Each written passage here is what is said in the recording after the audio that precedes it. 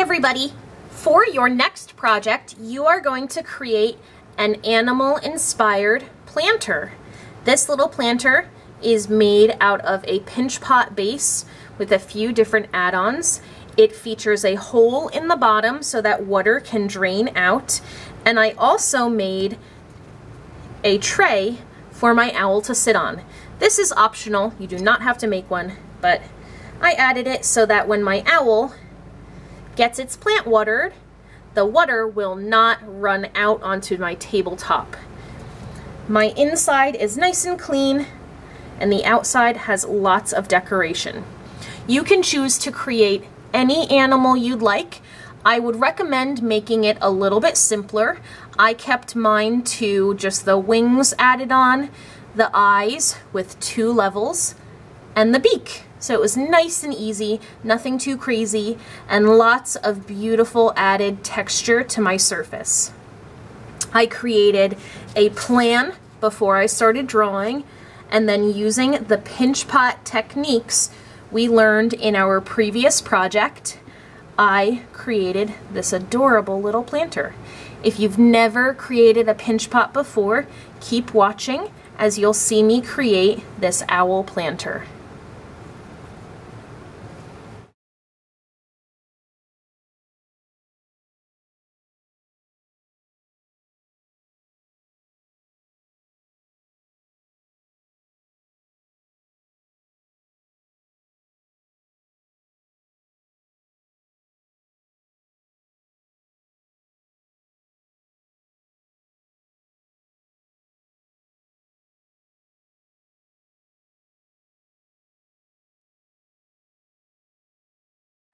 Today I'm going to show you how to create your own clay pinch pot planter. So you can see that I have my own plants in the art room that I love very much.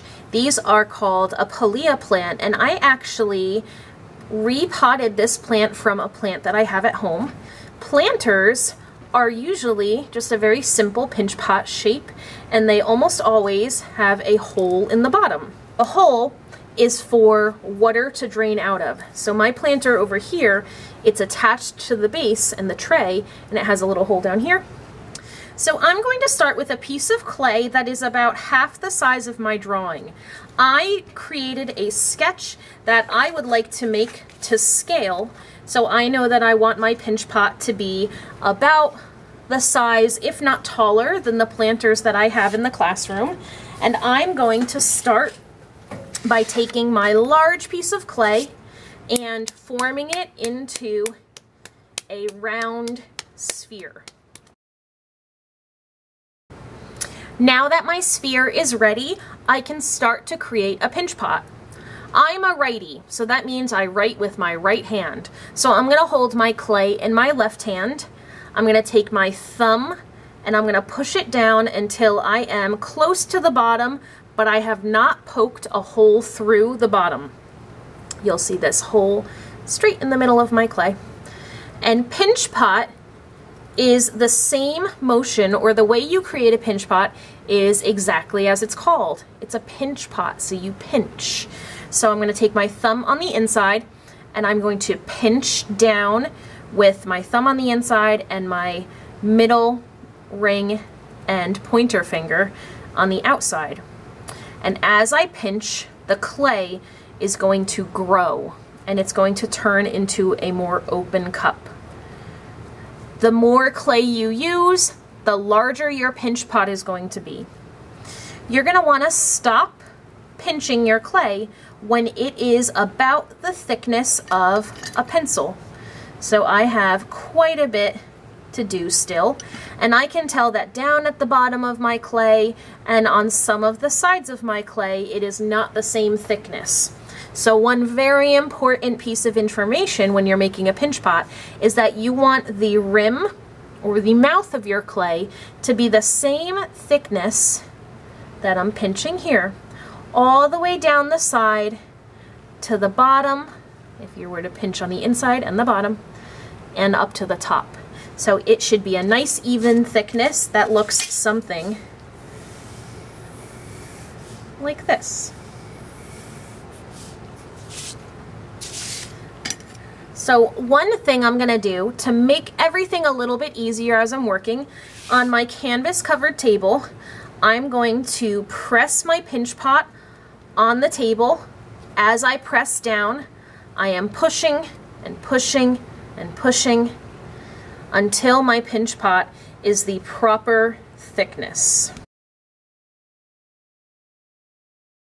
As you're working, you may start to notice that maybe your pinch pot isn't as large as you want it to be. So looking at my sketch, I need to add a little bit of height to my owl. So I need a little bit more clay at the top. So what I'm gonna do is I'm going to take some clay from my extra clay bag and I'm going to make what is called a coil. A coil is basically just a rope or a snake of clay. So I'm gonna make sure that my clay is all joined into one piece and then by rolling it along the table, and when I roll, I go from the top of my hand to the bottom of my hand, trying to make this as round as I can get it. My coil right now is flatter than it is tall, so I'm gonna press it down and then as I'm rolling, again, I'm pressing. And I wanna make sure that my coil is the same circumference as my pinch pot, so the same distance around. I am more than good to go. I'm gonna take my pin tool and I'm going to cut off any extra. Using my scoring and slipping method, I'm gonna attach my coil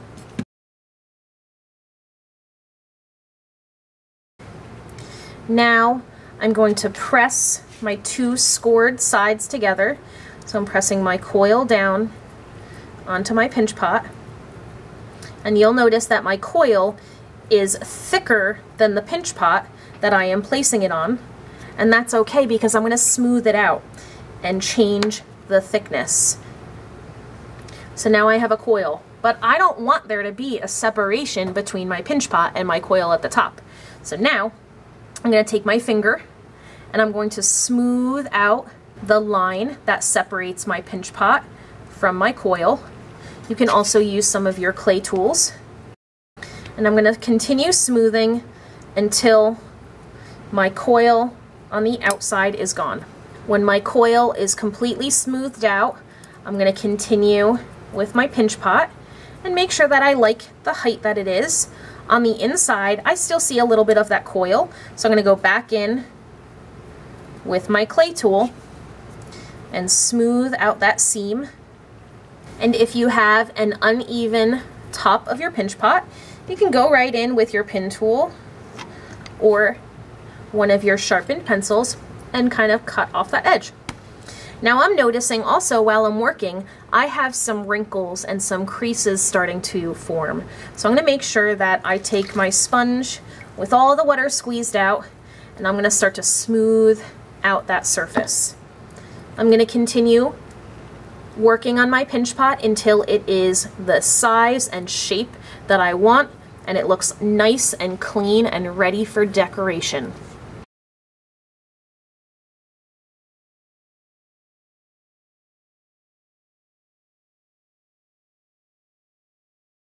Now you may notice that your pinch pot might be wider than you would like it to be.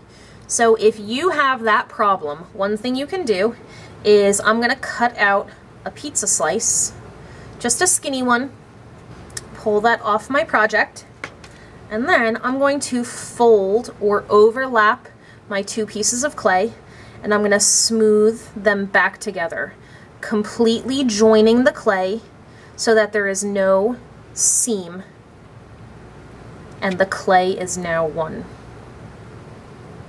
Now if I do that on one side, it's probably going to look a little bit uneven if you don't do it on the other side. So this side looks like I only need a very teeny tiny pizza slice. So I'm going to do the same, but a little bit smaller this time. If you notice that you have a section of your pinch pot that's a little bit too thin, if you would like to, you can even take your sponge with all the water squeezed out and smooth the inside a little bit. This won't matter as much in the end, but I don't want it to look too messy in there. I just want it to look nice and smooth so that when I put my plant in there. So I'm gonna make my bottom nice and stable by tapping it on the table. Now I have a flat base and I'm gonna do the same for the top of my owl. Now I can start to add my decorations. So on my plan, I have a few add-ons that I would like to do. I want to add on a beak, two eyes, two wings, and then I think I may even add some ears on when I'm finished. So I'm going to take a round object from around my desk and on a flat piece of clay that I created by taking scraps of clay, smushing them all back together and making sure that when I squeeze them back together, there is no air pocket. I'm gonna add a little water, just a little bit at a time. Roll that back into a ball. And then taking my rolling pin or a flat round marker, I'm gonna roll a nice, smooth, fat, flat piece of clay. What you can also do to make sure that your clay is the perfect thickness, take two pencils.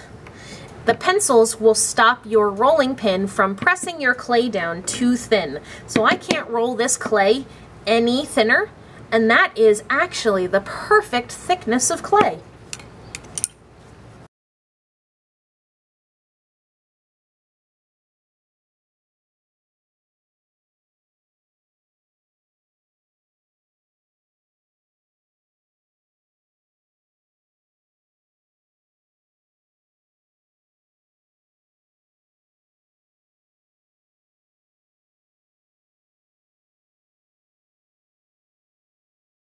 Now that all of my attachments are added on securely, I can start to add lots of fun details to my little owl planter. So I think I'm gonna work on its tummy, and I like the idea of these little feathers. I used a texture tool that I had available in the classroom to create these beautiful star textures on the wings. And then I'm gonna use lots of just very simple supplies that I have handy in my art kit to create details around the owl's eyes. It's up to you how much detail you add. I'm gonna focus on the front and then add a little bit of detailing on the back, but I'm not worried too much about the back side since I'm primarily going to see the front of my owl. So holding my owl nice and still, a few things I wanna do before I start adding texture is I'm gonna go in with my carving tools. And I'm going to make sure that the eyes look nice and even. And then my little owl's nose.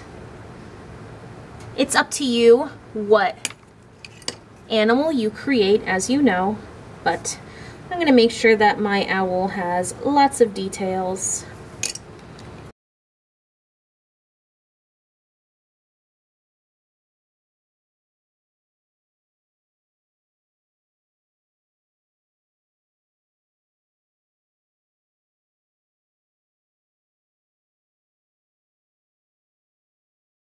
anytime you want to practice a detail on your clay before you attach it or carve too deeply into it, I'm going to take my pencil and very lightly trace out on my surface the design that I'm hoping for. That way, as long as you press nice and light, you'll be able to smooth any mistakes out with your fingertip or a sponge with no harm or damage done to your project.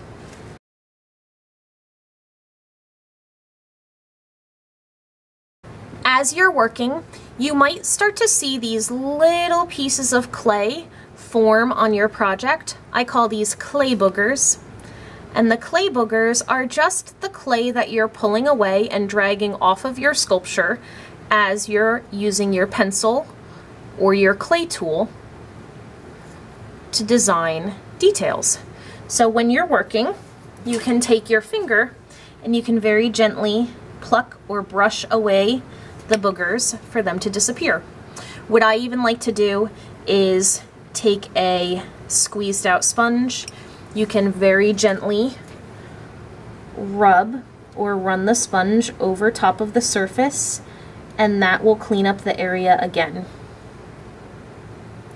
You'll still have a little bit of these as you're going, but you can even take your pencil and wipe them off on your sponge as you're working to prevent them. These will not harm your project. In fact, most of them are going to want to flake off and fall right off before your project goes into the kiln. But better to get them off now than to worry about them later.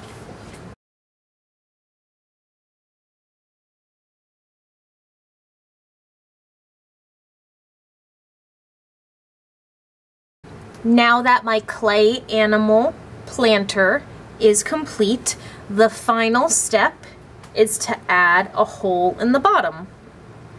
It's important to add a hole in the bottom of any clay planter because like I mentioned, that's where the water is going to drain out so that when your project or when your plant is watered, there will not be any water damage to the roots. So I'm taking my loop tool and just going straight into the bottom and creating a hole. Then right around that hole, I'm going to take my pencil and I'm going to sign it like an artist.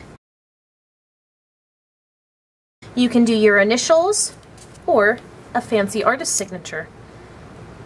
After you're done creating your animal planter, you can create a small tray for the water to drain into if you would like.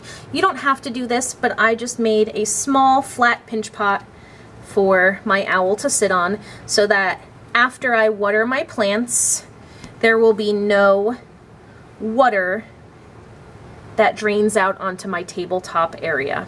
So that's an optional piece if you would like to, and you can make it match if you'd like, but it's completely up to you.